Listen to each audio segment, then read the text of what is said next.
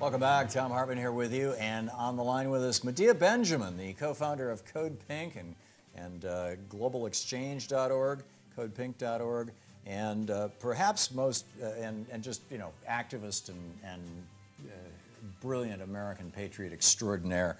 Uh, but uh, also, I want to emphasize her new book, Kingdom of the Unjust Behind the U.S. Saudi Connection, is a book that, if you want to understand that part of the world, and frankly, it, it is affecting the entire planet, you have to read this book.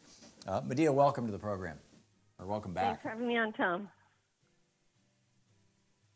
It's great to have you with us. I was uh, reading a couple of in-depth pieces on the whole uh, situation with uh, Myanmar and uh, Rohingya, um, uh, and cor correct me if I'm mispronouncing it, please, um, that, that basically well, actually, rather than trying to characterize what may be a partial understanding on my part, um, you're here. Let me toss it to you. Who are the Rohingya? Why is it that that Myanmar, the former Burma, is is is expelling them and murdering them and burning their villages and killing their people? And and you know now we've got the the refugees, horrible refugee situation. What are the dep depths or dimensions of that uh, situation? Well, the Rohingya have lived um, for centuries actually in this area, uh, but they are not recognized by the present government of Myanmar. In fact, the state's official stance is that the Rohingya ethnic group doesn't exist. Uh, instead, they're referred to as uh, Bengali, uh, which is trying to link them to a foreign land that they have never stepped foot in, uh, despite the fact that they do share cultural similarities. But uh, Burma doesn't recognize the Rohingya as citizens, which keeps them stateless and uh, limits their access to public services, discriminates against them. There have been periods of attacks on them uh, over the years, but the most uh, uh, brutal one came at most recently in uh, August after um, a an armed Rohingya group attacked a number of the outposts of the police and um, the military has uh, responded with terrible brutality. Yeah. And they are Muslim. What, what, how does that play into this? Well, they are Muslim, and this is a, a majority Buddhist country, and uh, I think the general uh, impression of Buddhists around the world is that they are this very peace-loving people. In fact, I love the signs at some of the protests I've been to saying, "What would Buddha do?" um, because uh, certainly this uh, brutality of the government has changed the face of, uh, of Buddhism.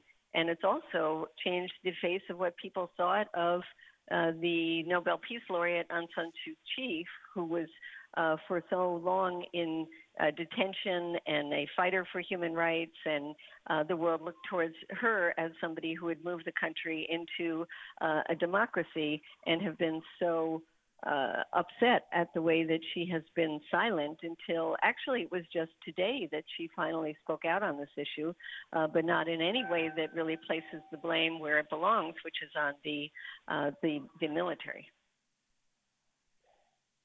Uh, the day before yesterday, when I was in Germany, I read a, a, a fairly long analysis piece on this in one of the German newspapers that that basically put forward the following um, narrative that the Rohingya had been, as you as you point out, an oppressed minority uh, and and uh, you know suffered very badly for years and years, um, but they're also Muslim, and that into their particular what used to be a relatively benign form of Islam um, has, over the last couple of decades, come a number of uh, evangelists from the, uh, shall we call it, Saudi version or Wahhabist version of, or, or more hard, hard line, whatever, uh, you know, you would know the right phrase, and I'll, I'll wait for you to tell me, um, of Islam. And that created uh, a small faction among the Rohingya, sort of like the, uh, the Weathermen were a small faction of the SDS back in the day. And, and that small faction has adopted violence, and, and they have, they have uh, you know, bombed police stations and attacked uh, the government and whatnot.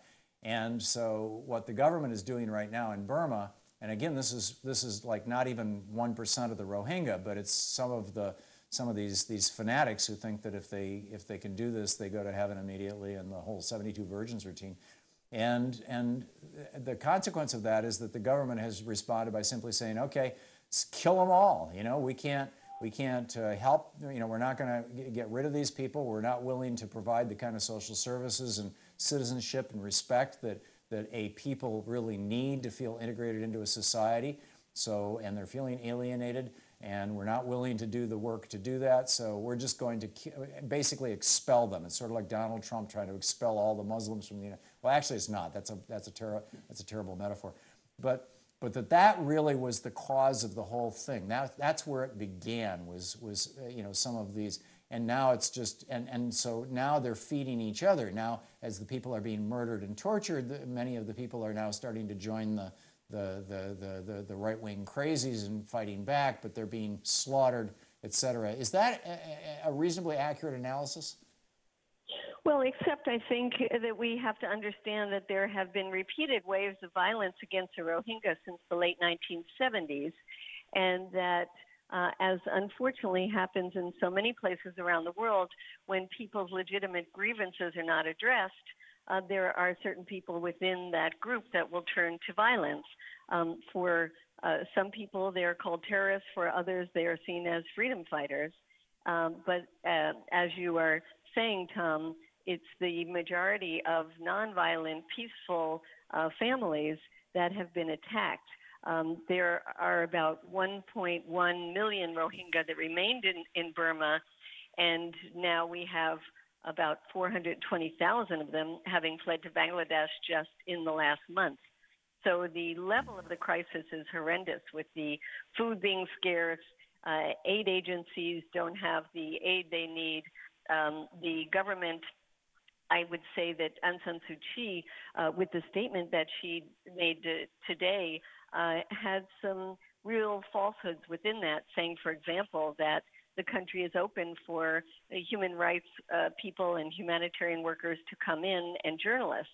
Uh, but that is indeed not the case. And in fact, uh, journalists can only come in with government minders and are not allowed to go to the villages that have been burned and, and uh, talk to the people who are fleeing.